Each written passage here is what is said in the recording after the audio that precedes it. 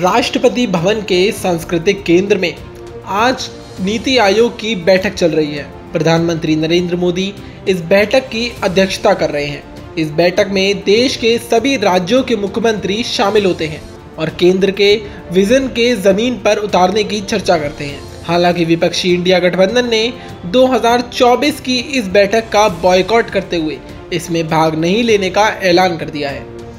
नीति आयोग आज़ादी के बाद देश के विकास के लिए केंद्र सरकार की नीतियों के लॉन्च टर्म में अप्लाई के लिए बनाया गया। योजना आयोग की जगह पर लाया गया। साल 2014 में भारतीय जनता पार्टी की सरकार आने के बाद 1 जनवरी 2015 को नीति आयोग का गठन किया गया। इसे भारत सरकार का थिंक टैंक माना जाता है।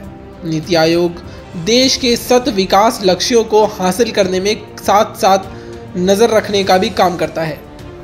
ये केंद्र सरकार की राज्यों और केंद्र शासित प्रदेशों के बीच कॉम्पिटिटिव और सहकारी संविधान को बढ़ाने का दोहरा दायित्व निभाता है।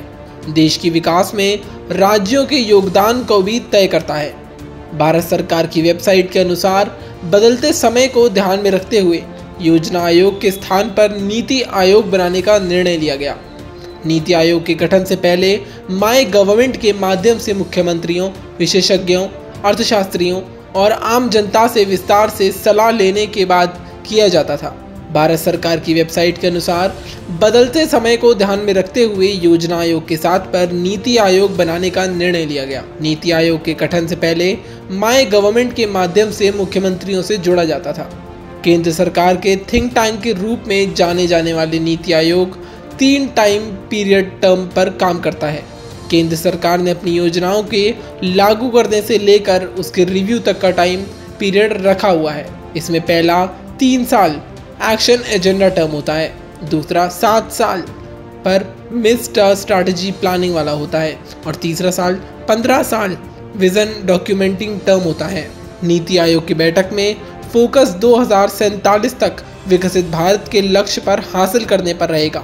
इसमें राज्य की योगदान के बारे में चर्चा होगी। इस बैठक में इन आठ बातों पर भी खास ध्यान रखा जाएगा। ऐसे अपडेट्स के लिए देखते रहिए न्यूज़ वर्ल्ड इंडिया।